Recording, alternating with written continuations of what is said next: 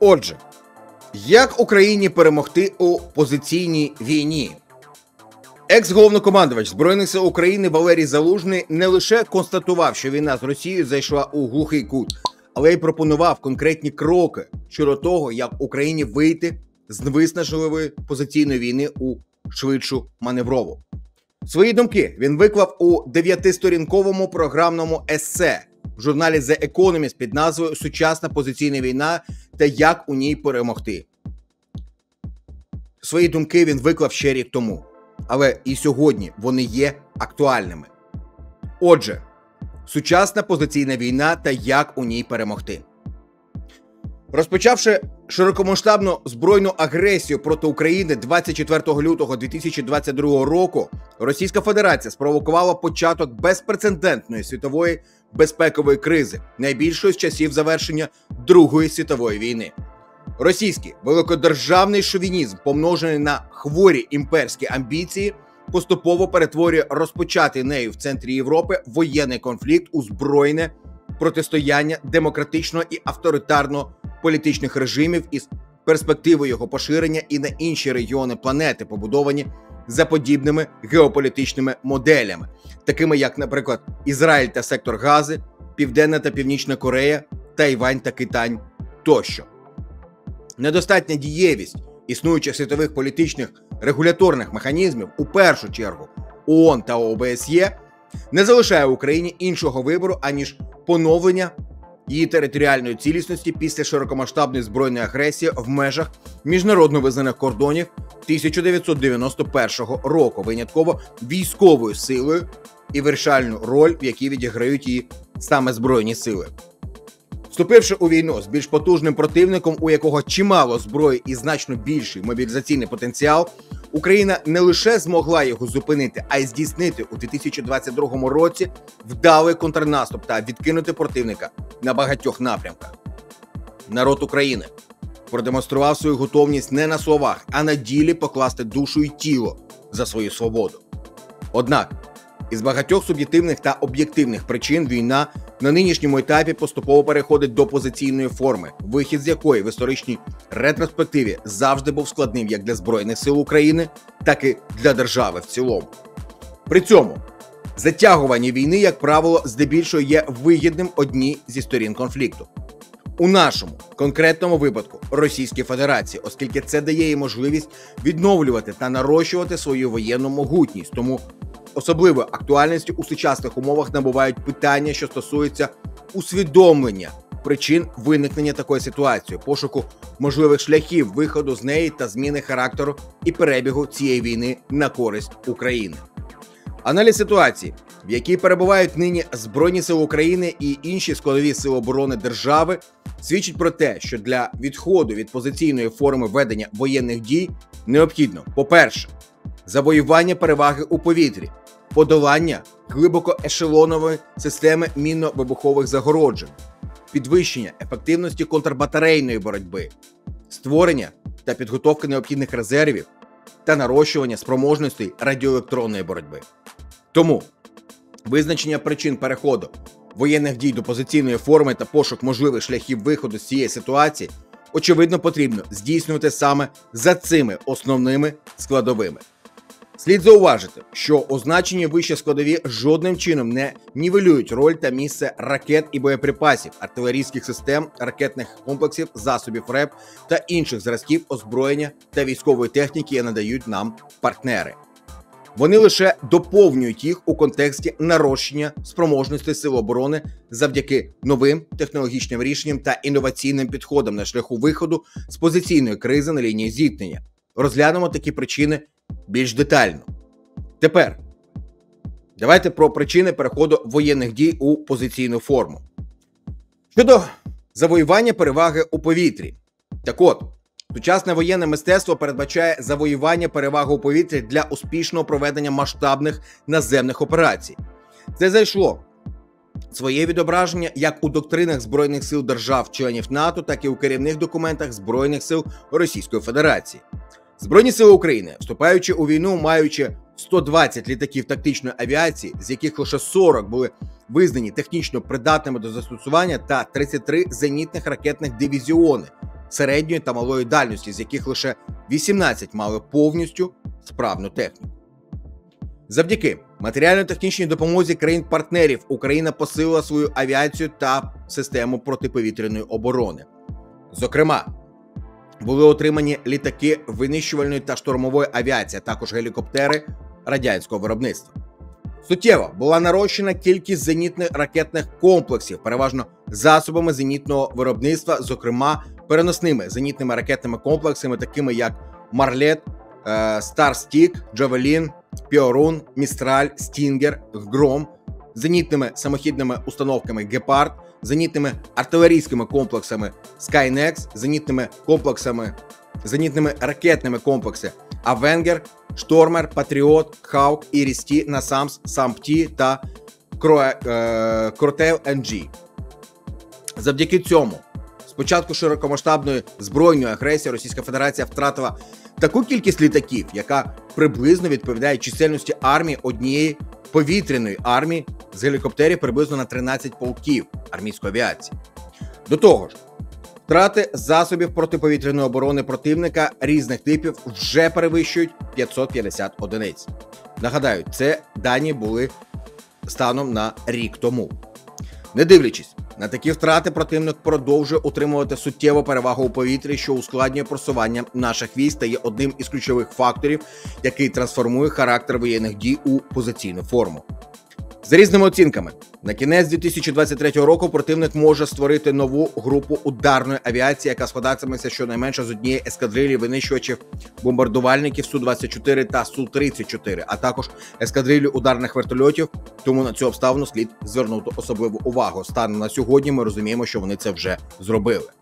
Але Незважаючи на суттєву кількісно якісну перевагу противника в авіації та засобах протиповітряної оборони, він не може конвертувати її в повне панування у повітрі завдяки вдалій роботі наших підрозділів безпосередньо протиповітряного прикриття військ, які постійно збільшують рахунок ураження засобів повітряного нападу.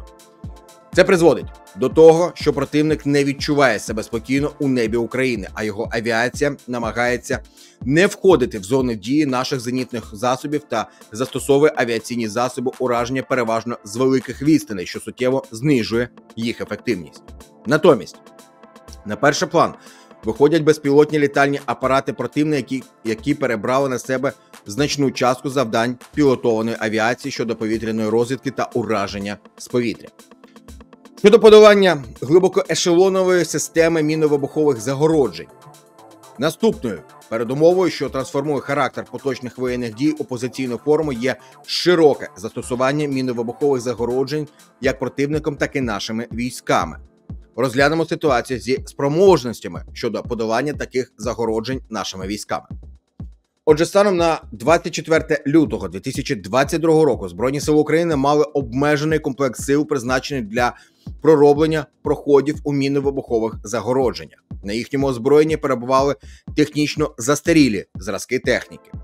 Завдяки західним партнерам у ході воєнних дій вдалося дещо наростити спроможності інженерних частин підрозділів, що пророблення щодо пророблення проходів за допомогою таких засобів, як М58, Вінсент 1 НМ 189 але Враховуючи безпрецедентні масштаби цих загороджень, навіть таких спроможностей об'єктивно не вистачає.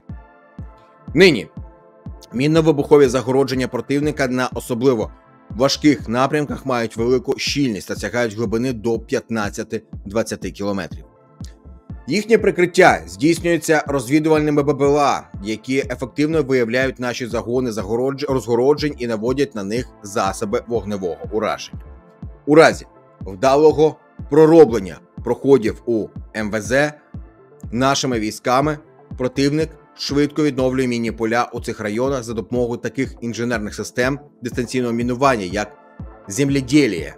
Водночас Збройні сили України не менш ефективно застосовують міновибухові загородження та розвідувально-вогневі комплекси для виявлення і знищення інженерних засобів розмінування противника. Це призводить до того, що наступальні дії обох сторін відбуваються із суттєвими труднощами і великими втратами особового складу, озброєння та військової техніки. Щодо контрбатарейної боротьби у російсько-українській війні, як у війнах минулого, роль ракетних військ та артилерії у вогневому ураженні залишається досить значною і залежно від умов напрямків і районів дій коливається від 60 до 80% загального обсягу виконування завдань. Успіх дій військ залежить безпосередньо від результативності ударів і вогню, тому полювання на засоби вогневого впливу противника для обох сторін набуває пріоритетного значення.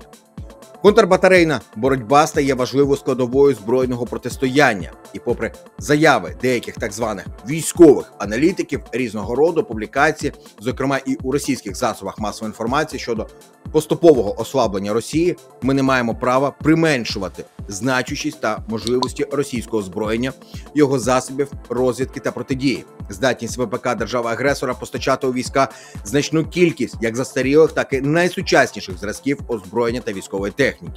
Ми маємо реально оцінювати загрози, аналізувати досвід та робити висновки. Одразу після отримання західного ракетно-артилерійського озброєння Збройні сили України здобули суттєву перевагу та значні успіхи у контрбатарейній боротьбі. Так, досить ефективно показали себе високоточні боєприпаси типу Excalibur, 155 мм снаряд у боротьбі із самохідною артилерією та РЛС. Проте з часу їхні можливості суттєво знизилися, оскільки система наведення на ціль за допомогою GPS є дуже чутливою до впливу засобів РЕП противника, що призводить до втрати високоточності боєприпасів. Противник швидко навчився застосовувати нову тактику дій, роздосередження по гарматах, вогонь із максимальної дальності, використання нових засобів РЕП, система РЕП Полі 21 тощо. Також противник досить широко та ефективно почав застосовувати баражуючі боєприпаси типу ланцет із підсвічуванням, цілі БПАК, Орлан, Зала та інших, боротьба з яким є достатньо складною. З метою утримання та збільшення переваги у дуельному протистоянні росіяни застосовуючи застарілі артилерійські системи Д1 та Д20, значно підвищили щільність артилерії та її можливості щодо масованості застосування звичайних боєприпасів.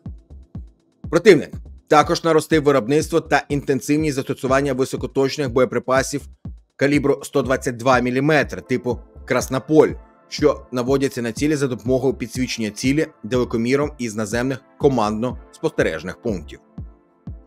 Як протидія противнику, ми вимушені були залучати до ураження його артилерії реактивні артилерійські системи типу Хаймарс. Проте на ураження зазначених цілей, артилерія РСЗВ тощо витрачалася значна частина наявного комплекту ракет.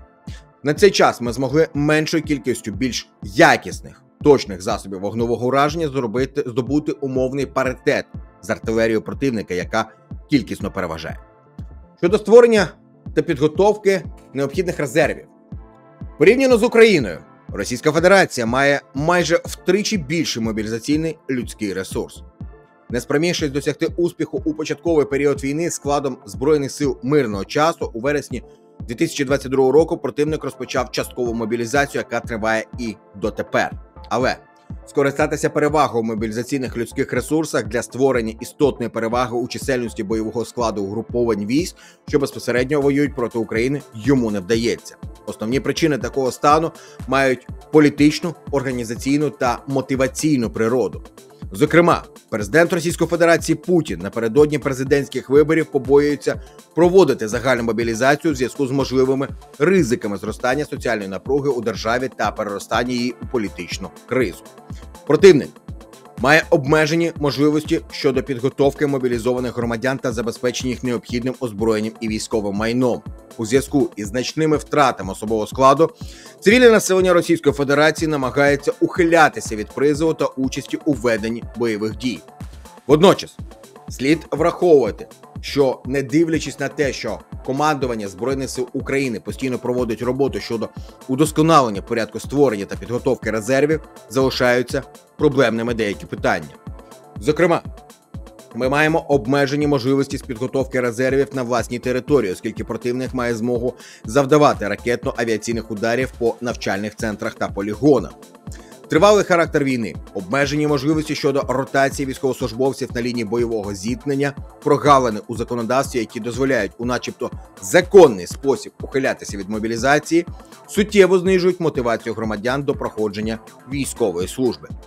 Ці проблеми всім відомі. Ми бачимо шляхи їх вирішення і постійно над цим працюємо. Таким чином, зазначено зумовлює відсутність можливості України досягти переваги над противником у резервах шляхом нарощування їхньої чисельності. Щодо радіоелектронної боротьби, ще до початку подій 2014 року військово-політичне керівництво Російської Федерації приділило значну увагу розвитку РЕП. Показовим прикладом цього є створення у 2009 році у Збройних силах Російської Федерації окремого роду військ війська РЕП. Окрім того, у складі збройних сил Російської Федерації створено потужний повітряний компонент засобів РЕП, який забезпечує ефективне застосування військ та високоточної зброї. На озброєння противником було прийнято близько 60 типів сучасної техніки та засобів РЕП, які відрізняються кращими технічними характеристиками, високою рухомістю, підвищеною захищеністю, малим часом розгортання та згортання, впровадження нових технічних рішень, засобів автоматизації, спеціального програмного забезпечення тощо. Практично весь парк морально застарілої техніки було оновлено. До основних переваг російської техніки РЕП також належить налагодження серійного виробництва засобів так званого окопного РЕП: сілок, пітон, гарпун, піраєт, стріж, лісочок, якими насичена тактична ланка військ Російської Федерації. Незважаючи на те, що спочатку широкомасштабної збройної агресії противник втратив значну частину зазначеної техніки, він і далі отримує суттєву перевагу в засобах РЕП. На Куп'янському та Бахмутському напрямках противник фактично створив ешелонову систему РЕП, елементи якої постійно змінюють своє місцеположення. Що стосується Збройних сил України, то до 22-го року їхнє озброєння були прийняті такі сучасні засоби РЕП з БПЛА, як Буковель АД, Анклав, Хмара, Нота, які в подальшому добре себе зарекомендували у бойових умовах. Але Попри це, на початок війни у частинах або ж підрозділах РЕП Збройних сил України близько 65% зразків станцій перешкод були виробництво колишнього радянського союзу, а нових налічувалося лише 25 одиниць. Зважаючи на обмежені можливості вітчизняного оборонно-промислового комплексу, нарощування спроможності з РЕП було здійснено завдяки міжнародній військовій матеріально-технічній допомозі, шляхом отримання комплексів виявлення та радіоелектронної боротьби з БПЛА, антидронових рушниць, тактичних мобільних систем пеленгації, комплексів РЕП з бортовими радіолокаційними станціями тощо. Нині Здійснюється нарощування спроможностей щодо боротьби з високоточною зброєю противника шляхом розгортання загальнонаціональної системи РЕП Покрова з можливістю здійснення підміни супутникового радіонавігаційного поля або ж спуфінгу, подавлення супутникової радіонавігації по всій лінії бойового зіткнення та на більшій частині території України. Також триває розроблення та впровадження у процеси управління елементів систем ситуативної обізнаності, графіт для автоматизованого передавання і відображення інформації про проліт малорозмірних БПЛА, кварц для збирання, оброблення, відображення даних та управління засобами радіоелектронної боротьби. На цей час нами практично досягнуто паритету щодо виконання завдань з РЕП що суттєво ускладнює можливість досягнення переваги збройними силами як Російської Федерації, так і України під час застосування озброєння та військової техніки і військ у цілому. Таким чином, покладаючись на стратегічну перевагу у воєнному, економічному, людському, природно-ресурсному та науковому потенціалі і порівняно належних умовах для його реалізації, окупаційні збройні сили і досі неспроможні повною мірою реалізувати замисли російського генерального штабу. Разом із тим, слід відзначити, що незважаючи на це протидія досягненню військово-політичних цілей держави агресором дорогою ціною обходиться Україні та її збройним силам. Зазначене вище особливо гостро проявляється нині у ході контрнаступальних дій у літньо-осінній період. Зокрема, де-факто Збройні сили України та інші складові сил безпеки та сил оборони, які беруть участь у відбитті збройної агресії, практично на всій лінії бойового зіткнення сторін та у прикордонних з Російською Федерацією районах стикнулися з необхідністю подолання проблеми військового паритету. Насамперед, його існування обумовлюють причини, пов'язані з паритетом у повітрі, мінно-вибухових загородженнях, контрбатарейній та радіоелектронній боротьбі, створенні резервів, шляхи подолання позиційного характеру воєнних дій, потреба в уникненні переходу до позиційної форми воєнних дій на кшталт окопної війни 1914-1918 років обумовлює необхідність пошуку нових та нетривіальних підходів до подолання військового паритету з противником. Основну ідею виходу із ситуації, що складається, можна подати ілюстративно. Основними шляхами подолання позиційного характеру воєнних дій, який став проявлятися на лінії бойового зіткнення влітку 23-го року, слід вважати такі: за напрямом набуття переваги. Почнемо у повітрі. Одночасне масоване застосування в єдиному бойовому порядку дешевих безпілотних імітаторів повітряних цілей та ударних БПЛА з метою перенавантаження системи ППО противника, введення в оману противника щодо кількості справжніх цілей в нальоті та викриття елементів системи ППО противника.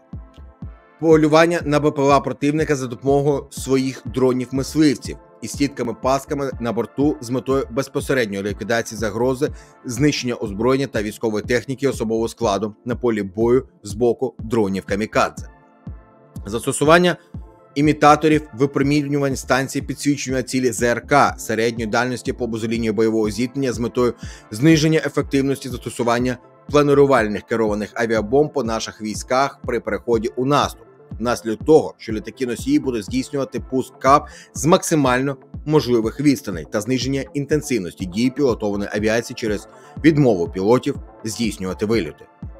Засліплення тепловізійних засобів розвідки та наведення БПЛА з тробоскопами у нічний час з метою ускладнення або ж унеможливлення завдання ударів по позиціях військ, зразках озброєння та військової техніки у нічний час з використанням БПЛА, оснащених тепловізійними засобами наведення. Масоване використання засобів РЕП, малогабаритних та переносних передавачів перешкод, антидронових рушниць тощо на лінії бойового зіткнення сторін для боротьби з БПЛА противника з метою підвищення захищеності сил від дій БПЛА противника. За напрямом контрбатарейної боротьби, використання альтернативних засобів, формування навігаційних полів для покращення роботи навігаційних систем високоточних боєприпасів, збільшення частки завдань з контрбатарейної боротьби, які вирішуються розвідувально-вогневими комплексами на базі БПЛА Камікадзе, застосування засобів контрбатарейної боротьби у комплексі із заходами введення противника в оману нарощування спроможності засобів артилерійської розвідки, наданих у мережах міжнародної матеріально-технічної допомоги шляхом використання нестандартних налаштувань. За напрямом подолання глибоко ешелонової системи мінно-вибухових загороджень, застосування під час пророблення проходів у мінно-вибухових загородженнях сенсорів на основі технології LIDAR, сканування для отримання ситуаційної інформації щодо пророблення проходів на місцевості, систем димопуску Росі для приховування роботи загонів, розгородження від засобів розвідки і ураження противника, пошкодженої техніки, яка зберегла свої ходові можливості. Використання для пророблення проходів у мінно-вибухових загородженнях, які встановлені без заглиблення у ґрунт реактивних авіаційних двигунів зі списаних літаків, водяних лафетних стволів, водометів або ж промислових гідромоніторів касетних артилерійських боєприпасів. Застосування для пророблення проходів у мінно-вибухових загородженнях міні-тунелепрокладачів з буром, плазмового руйнівника ґрунту, порожніх рукавів для закачування газоподібної або рідкої вибухової речовини ракет з паливно-повітряною вибуховою сумішю. Використання антидронових рушниць для боротьби з розвідувальними БПЛА противника, що дозволить збільшити рівень перехованості загонів розгородження під час пророблення проходів у мінно-вибухових загородженнях. За напрямком роботи власних резервів та боротьби з резервами противника, впровадження у діяльність органів військового управління єдиного державного реєстру призовників військовозобов'язаних та резервістів оберіг, залучення. Більшої кількості громадян України до військового резерву, створення автоматизованої системи контролю та обліку підготовки громадян України до військової служби та до національного спротиву, розширення переліку категорій громадян України, з якими здійснюється підготовка до військової служби та до національного спротиву, введення практики бойового стажування. Далі, за напрямком РЕП, упровадження в процеси управління елементів систем ситуативної обізнаності, покрова, графіт, кварц, а також обміну інформацією, що отримується від засобів розвідки сил оборони. Нарощування спроможностей щодо моніторингу поточної радіоелектронної обстановки у районах ведення бойових дій шляхом використання можливостей країн-партнерів. Зокрема, нам необхідно надати можливість розширеного доступу до інформації від повітряних, морських та космічних засобів радіоелектронної розвідки, нарощування спроможності щодо ведення РЕП із БПЛА під час ведення штурмових дій загальновійськовому підрозділу, організація та ведення контррадіоелектронної протидії для виявлення розпізнавання локації та ураження джерел радіоелектронного випромірювання противника. Пошук можливостей щодо збільшення об'ємів виробництва комплексів РЕП із БПЛА Буковель АД на території України та за кордоном, упорядкування використання засобів окопного РЕП, які надходять у війська від волонтерських організацій з метою виключення випадків подавлення своїх БПЛА, ведення дружнього вогню, удосконалення існуючих та розроблення нових вітчизняних комплексів РЕП, враховуючи перспективу ведення електромагнітної боротьби у всьому електромагнітному спектрі, який охоплює значно ширший частотний діапазон. Наступне управління військами. Важливе значення у процесі реалізації запропонованих шляхів виходу з позиційної війни має підвищення ефективності управління військами та силами. Це може бути здійснене шляхом широкого використання сучасних інформаційних технологій у системі управління, що забезпечуватиме формування єдиного інформаційного середовища, створення умов для переваги інформаційної переваги, результативну координацію дій підпорядкованих військ та сил. У результаті зазначене дозволятиме випереджати противника у питаннях щодо ситуаційної обізнаності та швидше ухвалювати рішення і у цілому забезпечити досягнення мети проведення операції в умовах позиційної війни. Ключовими складовими, які впливатимуть на досягнення переваги у ситуаційній обізнаності, є процес організації зв'язку, розвідки, спостереження та рекогносцировки. Одним із визначальних факторів, які суттєво впливає на успішність реалізації запропонованих шляхів, зміни характеру війни та досягнення поставлених цілей, є раціональна організація логістичного забезпечення сил оборони держави. Відбиття повномасштабної збройної агресії противника, ведення оборонних та контрнаступальних дій потребують величезної кількості ресурсів людських, мобілізаційних, фінансових, матеріальних тощо. При цьому Досвід ведення російсько-української війни свідчить про актуалізацію практично забутих концепцій, наприклад, таких як накопичення запасів ракет і боєприпасів і інших матеріально-технічних засобів. Після закінчення холодної війни, розпаду радянського союзу та блоку держав Варшавського договору ця концепція втратила актуальність однак нині вона не була важливого значення як для противника, так і для нашої держави. Російські збройні сили витрачають велику кількість ракет і боєприпасів, але слід визнати, що певна підготовка до війни здійснювалась, тому Росія на цей час зберігає та здатна ще значний час зберігати перевагу в озброєнні та військовій техніці, ракетах і боєприпасах. При цьому нарощуються можливості воєнно-промисловості, незважаючи на запровадження провідними країнами світу безпрецедентних санкцій до держави агресора. Збройні сили України надається велика матеріально-технічна допомога державами-партнерами. Однак, зважаючи на збільшення інтенсивності середньодобових витрат ракет і боєприпасів, здійснювати накопичення цих засобів у потрібних обсягах не вдається, оскільки розгорнуто великі за чисельністю збройні сили. Тому всі матеріально-технічні засоби, які надаються в рамках матеріально-технічної допомоги, розподіляються між військовими формуваннями за пріоритетним принципом. Держави-партнери та члени блоку НАТО на цей час різко збільшують потужності виробництва озброєння та боєприпасів до нього, але цей процес є досить тривалим. Для розгортання масштабного виробництва озброєння та військової техніки, ракет і боєприпасів інших матеріально-технічних засобів за різними оцінками потрібно мінімум рік, за деякими видами два роки для продовження ефективного знищення складів противника, порушення логістичних ланцюгів, збільшення плеча, підвезення боєприпасів та інших матеріально-технічних засобів, збройні сили України потребують прийняття на озброєння ракет збільшеного радіуса дії, причому бажано власного виробництва.